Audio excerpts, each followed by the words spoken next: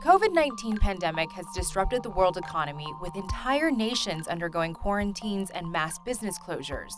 For Hollywood, this means no one setting foot in a movie theater or on a film set, likely for months. So, if the box office, which makes up roughly 42% of the entire entertainment industry's yearly revenue, is closed, how can Hollywood survive? Let's explain. On average, in the last five years, the box office has pulled in nearly $2.5 billion in revenue from March through May, which means the industry is losing out on billions with these closures and delays. U.S. film studios, faced with no theaters to premiere films in, were forced to postpone nearly all major releases. But will postponing premieres mean that studios will make the same amount of money later in the year?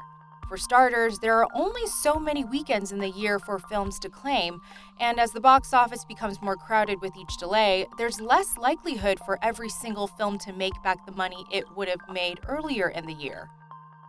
For films that have already completed production or are ready for distribution, another strategy might be releasing films directly to streaming or video on demand. Streaming could rescue a lot of the business, but a lot of those streaming products are already in the pipeline. So it may very well mean that some movies scheduled for release would be assigned to a streaming platform so that everyone waiting at home has continual product. In a bold move, Universal opted to skip its theatrical release for Trolls World Tour and went straight to video on demand. I will protect you no matter what.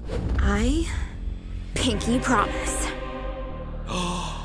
And films like Birds of Prey and Invisible Man, which already had box office releases, are getting released early on demand for the same price as Trolls at $19.99, only with a huge head start in earnings. So, how many times will Trolls World Tour need to be purchased for Universal to break even? At a download price of $19.99 and a budget of roughly $100 million for the film, Trolls World Tour would have to be downloaded around 5 million times. And that's not factoring in the tens of millions spent in marketing costs and the estimated 20% cut that VOD services take out of each sale. But this is all based solely on people paying a premium of $19.99, not including rentals or discounts down the line. So, back to movie theaters. The reason why they're so worried about any movie skipping its theatrical release is really simple. Theater revenues are based solely on people going to brick and mortar locations to watch movies a theater only takes 40% of the ticket price for a movie. The rest of their income is from concessions. Trolls World Tour, while not a Fast 9 or No Time to Die level film, would have still likely made a nice chunk of change for theaters thanks to its family appeal. So, studios skipping theatrical releases entirely rather than delaying them means these are profits theaters will never see. On the other hand, with schools facing mandatory closures and children stuck in their homes, it's kind of the perfect situation for Universal to release the movie directly to its core audience. Video on demand and streaming services enable studios to distribute their films without theaters, especially during a global pandemic. And the industry was moving toward digital distribution already, Last year, it accounted for $48.7 billion and was actually the first year it overtook total revenues from theatrical releases. This year, it's safe to assume digital will make up a monstrous portion of the overall industry's revenues.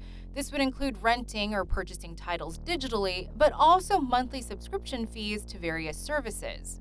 Which leads us to Netflix. The streaming company made $20 billion last year, and with a business model entirely based on people sitting in front of their TVs, computers, or phones at home, they are perhaps the most equipped to deal with a pandemic. But even Netflix can't escape that many productions across the globe have been put on hold, thereby reducing any content that could be readily distributed to a consumer. The impact on stalled sets means those who work in production, many on a per project or freelance basis, maybe without an income for months. In the long run, major studios like Disney, NBC Universal, or Paramount will likely be fine as they have the cash in the bank to float a movie's box office debut before they have to recoup their losses. Multiple revenue streams allow these companies to not sweat the box office business as much. Disney, for example, owns major broadcast TV networks including ESPN and ABC, as well as streaming service Disney Plus, which all bring in their own revenues. An area Disney certainly is most concerned with right now is their theme parks, which brought in a whopping $26.2 billion last year, their number one source of income each year. During economic upheavals that affect the entertainment industry, it's mostly been theaters, small independent studios, and production workers that are hit the hardest. This time will likely be no different. So, if coronavirus could have one major lasting effect on Hollywood, it may be rethinking how movies are distributed entirely and upending what a traditional theatrical window looks like. It's forcing evolution in an already quickly evolving industry under some extraordinary circumstances.